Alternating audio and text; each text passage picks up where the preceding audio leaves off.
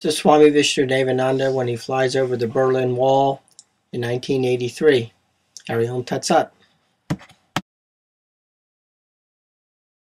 It's a symbol on wheels of his lifelong mission to bring harmony to a world he fears is going head over heels to disaster.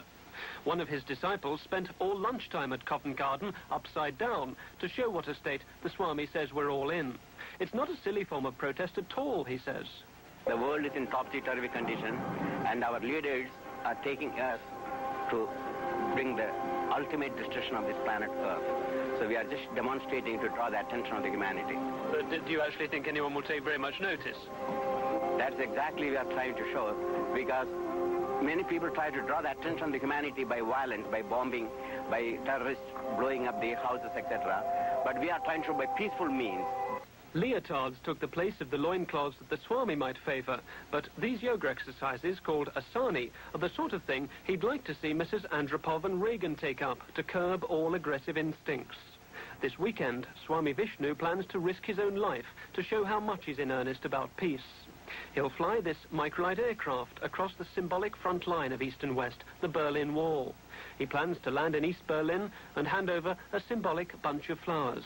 It sounds like a suicide mission. But uh, the danger we have to take anyhow because the whole world is going to be destroyed. So what one person, if, he die, if I die, it's not going to make much difference because they are going to destroy the entire world.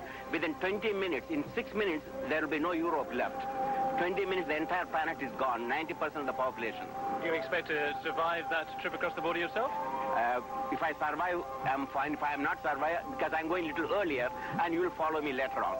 People will obviously be entertained Yeah. by what you're doing, Yeah. but in the end, don't you think they'll dismiss you as some sort of crank? Well, that's what, when the people bomb the houses, bomb uh, embassies, and, and uh, destroy the planes, etc., and bring the bomb, then it's not crazy. When I do show, bring flowers, cross borders with flowers, not with guns, then people call crazy, then they are crazy. I'm not crazy.